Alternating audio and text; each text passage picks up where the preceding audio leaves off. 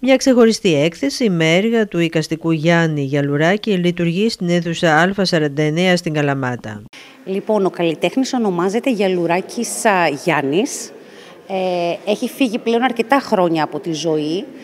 Ε, τα έργα του είναι ε, υπερρεαλιστικά μπορώ να πω. Έχει πολύ έντονο το,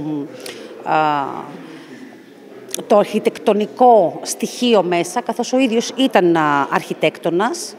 Ε, ένα από τα αγαπημένα του έργα και από αγαπημένο δικό μου τουλάχιστον είναι αυτό που βλέπετε εδώ. Ήταν ένας άνθρωπος εφιέστατος, ε, οραματιστής, ε, ήθελε να περνάει μηνύματα με τα έργα του. Θέλουν ιδιαίτερη προσοχή για να καταλάβει κάποιος ε, τι σκεφτόταν ή τι πιθανά να σκεφτόταν ο καλλιτέχνης εκείνη τη στιγμή.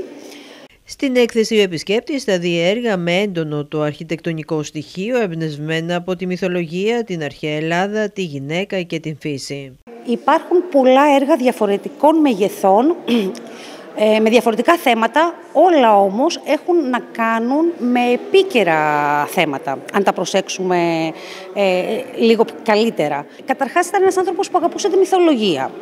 Θα δείτε κάποια έργα δηλαδή που έχουν σχέση με μυθολογία, με αρχαία Ελλάδα.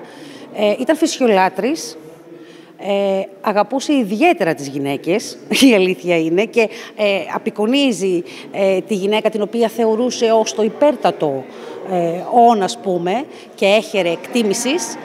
Ε, θα ήθελα να επισημάνω ότι επέλεξε την Καλαμάτα για τα τελευταία χρόνια της ζωής του. Έχουμε και πίνακες βέβαια που είναι στο πίσω μέρος ε, όπου απεικονίζει το λιμεναρχείο, τη Μεθόνη, αρχαία Μεσίνη.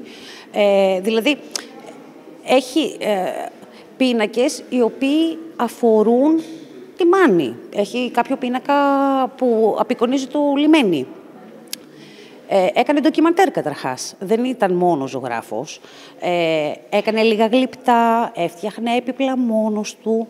Ε, υπάρχει ένα έπιπλο μπροστά το οποίο το έχει ζωγραφίσει κιόλας και είναι δικής του κατασκευής.